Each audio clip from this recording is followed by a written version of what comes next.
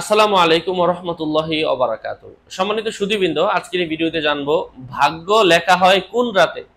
সবে কদর নাকি সবে বরাতে? তো বিষয়টা খুবই জটিল একটা বিষয়।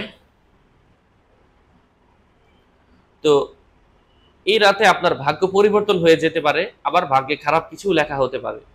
আপনার ভালো আমলের উপর নির্ভর করবে। এই জন্য সম্মানিত বন্ধুরা ভাগ্য যেহেতু এই রাতে লেখা হয়, এই রাতের আমলটা অবশ্যই আমাদেরকে ভালো করতে হবে।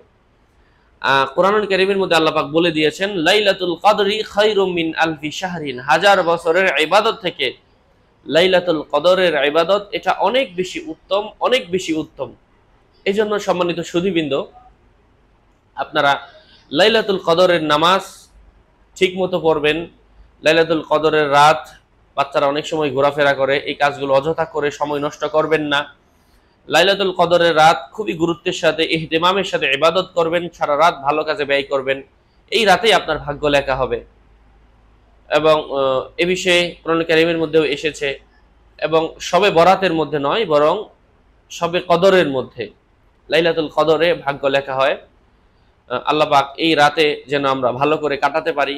এবং এই রাত অনেকেই গার্মেন্টস ছুটি হলে, অফিস ছুটি হলে চলে যায় দূর দূরান্তে বাসা বাড়িতে। সারা রাত এবাদতের সুযোগই হয় না তার।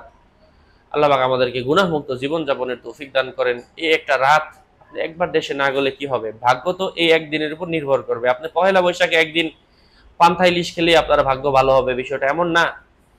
আপনার ভাগ্য ভালো হবে এই লাইলাতুল কদরের আল্লাহ পাক যেটা লিখবেন সেটাই, সেই অনুযায়ী সারা বছর পরিচালিত হবে। আল্লাহ পাক বুঝার তৌফিক দান করেন। আমিন। আসসালামু আলাইকুম রহমতুল্লাহ বারাকাত